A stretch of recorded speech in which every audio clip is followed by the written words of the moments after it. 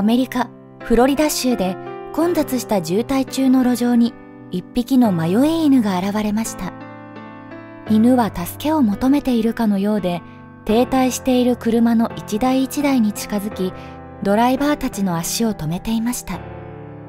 多くの車が走り去る中犬の必死な姿を見て一人の心優しいドライバーが救いの手を差し伸べたのですある日のことフロリダ州マイアミの渋滞していた道路で通勤ドライバーたちは一匹の犬を目撃しました。その犬は怯えながらも渋滞でゆっくりと走るすべての車に次から次へと近寄り助けを求めているようだったといいます。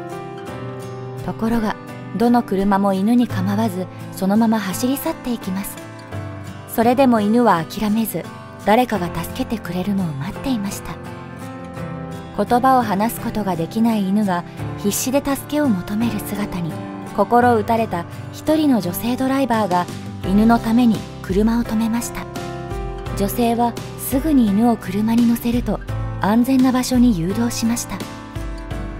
後にオリビアと名付けられたその犬は女性によって動物保護施設に連れて行かれ施設創設者ローザ・フォンドさんはオリビアと初対面しました。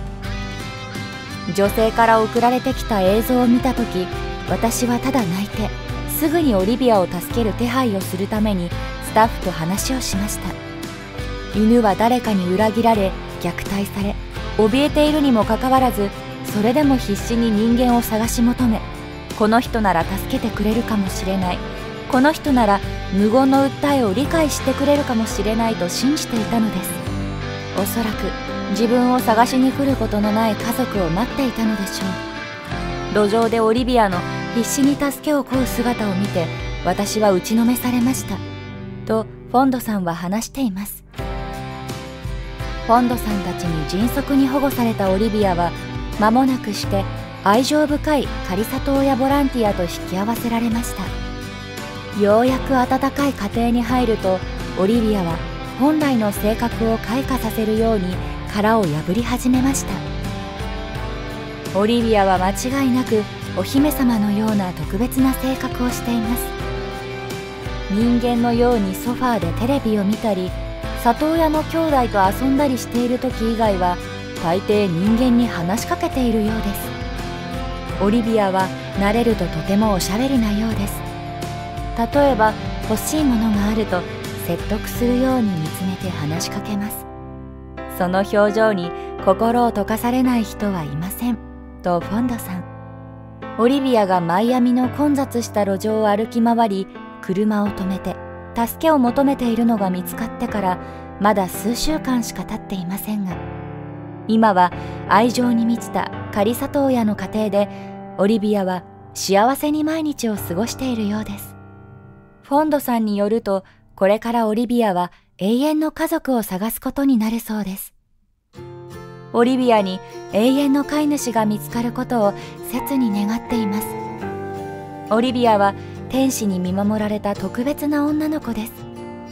今オリビアは里親の家族や施設スタッフに見守られながら暮らしています。とフォンドさんは話しています。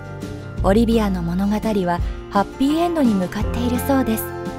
間もなく永遠の家が見つかることでしょう。残念なことに施設には数えきれないほどの素晴らしい犬たちが2度目のチャンスを待っていて優しい飼い主のいる家族が見つかることを望んでいるそうです。フォンドさんたちスタッフは犬たちがより長くより幸せに暮らせるように救助と保護に尽力しているそうです。オリビアはこれまでどのような暮らしをしていたのかは分かりませんが助けを必要としていたのは間違いありません。優しい女性に手を差し伸べられフォンドさんたちに出会えたことは本当に良かったですね。一日も早く新たな家族に巡り会えるといいですね。今度こそ幸せな時間を過ごしてほしいです。施設には他にもたくさんの犬たちが新たな家族を待っているようですがみんな幸せになってほしいですね。最後までご視聴いただきありがとうございました。